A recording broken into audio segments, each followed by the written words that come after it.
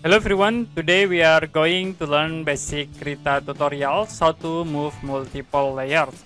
Okay, as example we have uh, layers in here and if you want to move multiple layer you can select the layer and press shift button like this. The next you can click hold to move the layer. You can select again like I will select this layer, press control button I will click uh, this layer. Next you can click hold you can move to the top like this.